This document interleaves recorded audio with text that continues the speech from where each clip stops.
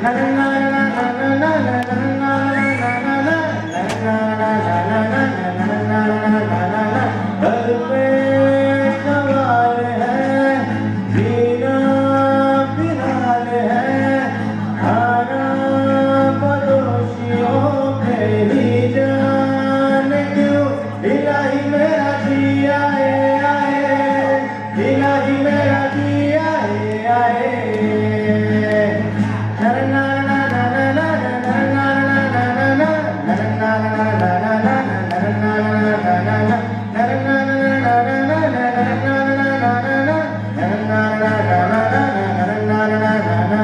Mera falsafa, philip mera hatta, jalam